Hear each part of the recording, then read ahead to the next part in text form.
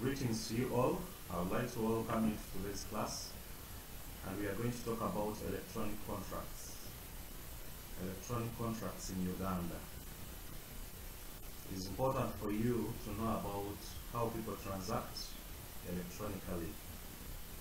Remember that the world has become global. We are in a global economy and we are in what we call globalization. These days you don't have to go to Japan, you don't have to go to China to transact. But you can use a gadget next to you to engage with a supplier, like your phone, like your laptop. So this is a new law that has come into place. As business scholars and law scholars, it is pertinent that you learn about what we call electronic contracts. And the leading laws in Uganda in regard to electronic contracts we have the Electronic Transactions Act of 2011. We have the Electronic Signatures Act of 2011, the Electronic Transactions Regulations of 2013. Then I want to begin by making some definitions from Section 2 of the Electronic Transactions Act, which is the interpretation section and it sets out the different definitions of you know, some words. We'll begin by automated transaction. That it means an electronic transaction conducted or performed in whole or in part by means of a data message in which the conduct or data message of one or both parties is not reviewed by a person, by a natural person, in the ordinary course of the natural person's business or employment. Number two, let's define a consumer. But a consumer means a person who enters or intends to enter into an electronic transaction with a supplier as the end user of the goods or services offered by that supplier. And definition number three is of data, that it means electronic representations of information in any form and number four, data message.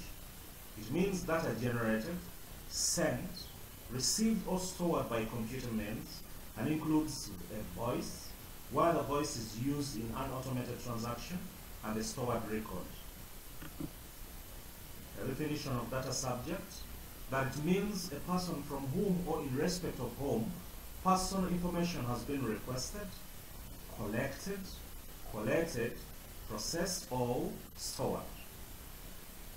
Electronic agent, that it means a computer program or an electronic or other automated means used independently to initiate an action or respond to data, messages, or performances in whole or in part in an automated transaction. And then electronic communication, that it means a communication by means of data messages. And then we have what we call electronic record. That means data which is recorded or stored on any medium in or by a computer system or other similar device that can be read or perceived by a person or a computer system or other similar device and includes a display, printout or other output of that data.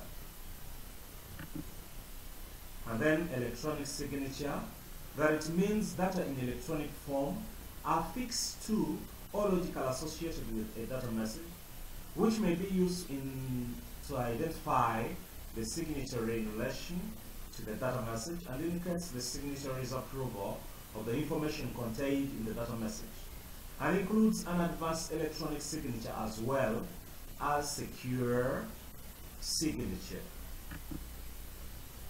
Another definition, electronic transaction, that means the exchange of information or data, the sale or purchase of goods or services between businesses, households, individuals, governments, and other public or private organizations conducted over computer-mediated networks.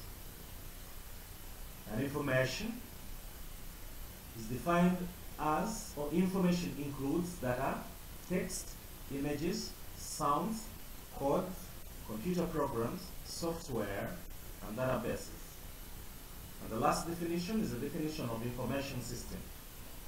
That it means a system for generating, sending, receiving, storing, displaying or otherwise processing data messages and includes the internet or any other information sharing system.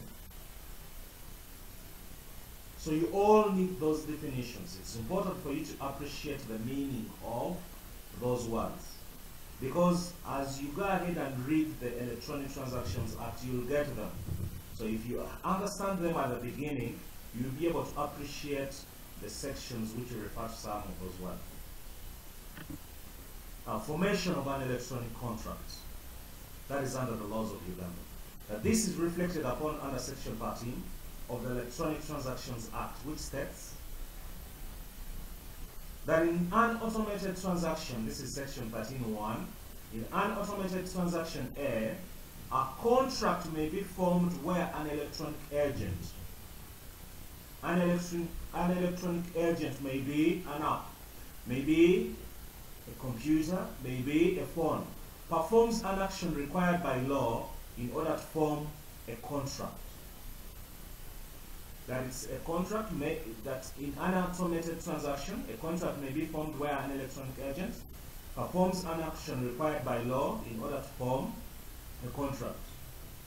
So when we look at the principles of offer, it may involve an offer, and then acceptance, and then consideration. If those principles are realized, that if those principles are realized, then that can be a complete contract that is initiated or made by an electronic agent. And section 13b, 13.1b, a contract may be formed by a party to the transaction using an electronic agent to enter into the contract. So you can use a device, you can use a computer, a laptop, or a phone to initiate and complete a contract. You do not have to meet the person physically.